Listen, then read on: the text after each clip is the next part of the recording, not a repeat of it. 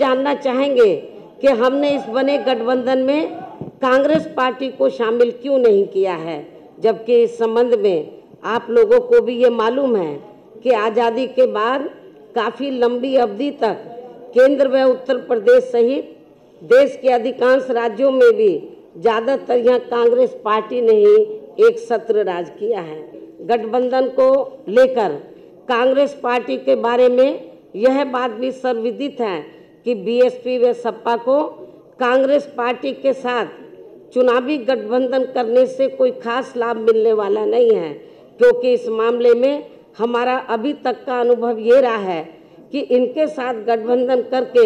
चुनाव लड़ने से हमें छोड़ी गई सीटों पर इस पार्टी का अपना अधिकांश वोट ट्रांसफ़र नहीं होता है और वह ज़्यादातर बीजेपी व अन्य जातिवादी पार्टियों को ही चला जाता है, या फिर जानबूझकर एक सोची समझी रणनीति के तहत उसे अंदर अंदर ट्रांसफ़र भी कर दिया जाता है, जबकि हमारी पार्टी से जुड़ा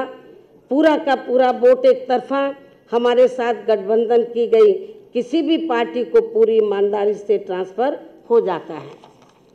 जिससे कांग्रेस पार्टी जैसी पार्टियों को तो हमसे पूरा लाभ मिल जाता है। लेकिन हमारी जैसी ईमानदार पार्टियों को इनसे इसका कोई खास लाभ मिलने वाला,